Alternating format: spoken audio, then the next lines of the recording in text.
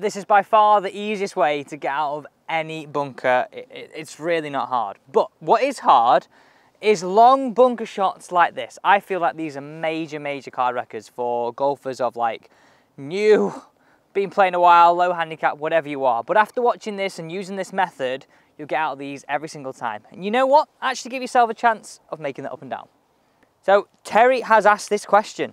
So this is um, a channel that's powered by you, the viewers, and you know what? Anything that you're worried about in your golf game, get down in those comments. The first thing you've got to understand on a long bunker shot is we don't want to use our most lofted club. Now that might shock you. Of course, let me hit one away here, right? You can stand here, and my most lofted club is my 58, and give it a smack and swing this as hard as you can. But when you're swinging a bunker shot that hard, you have very, very little control. So what I want you to do, anytime that we're sort of in that 25 to 30 yard range as we are right here, I want you to go for your 50 degree or your gap wedge. So your 52, your 50 or even your 48, that sort of range. So first things first, we're gonna break this down into three stages now. You've got part of number one, that is what club you're gonna use. Number one is gonna include a bit more setup, what swing you've got to do in the swing, and then a drill you can do right now that honestly will help you straight away. First thing in our list is setup. We've got to have a good base and you'll feel way better. Let's dig those feet into the ground, right? Give yourself a nice solid base. Even if the sand's thick, even if the sand's not a lot of sand or even wet, dig those feet in. We need a secure footing. Next on our list, and you can see this from the player cam perspective, I'm holding my club up and then I'm slightly opening the face and then I'm taking my hold. So I'll repeat that again right? I'm gonna hold my club up, slightly open the face, then take my hold of the golf club. This is what it should look like. So your grip should look normal to you, but the face should be open, okay? I know we've got 50 degrees in our hand, but still we're opening that face. It helps the club glide. Next up, I want you to sit down into the shot. So feel like you're just gonna sit down onto the chair and put your weight left. Now this is the exact setup that I want you to have. You can see how low my hands are, you can see where my weight is.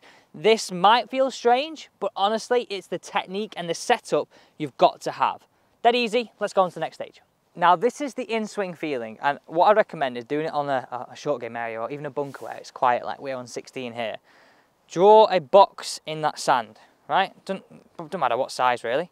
Draw a box in the sand and then split that box in half.